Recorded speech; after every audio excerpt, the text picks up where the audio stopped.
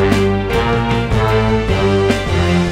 the co-op. It's Pose Arts under scaffolding. Co-op. The staff can't do anything. Co-op. But they might still strike this spring. That's the gossip at the mail drop. Here in our co-op. Whose package is this? Something from overnight insulin emergency providers? Going once? Twice? Nope. Okay.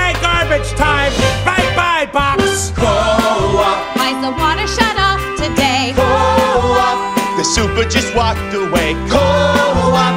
I'd rather squat in a loft than stay in this one-stop block called a co-op. Twenty-two floors and a roof deck that's off limits. 160 units managed by a staff of dimwits who pay a king's ransom for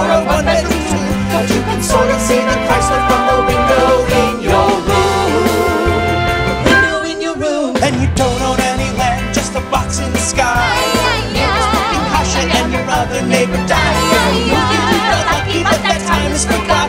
But you never give up your spot at the co-op. Our blessed the co-op.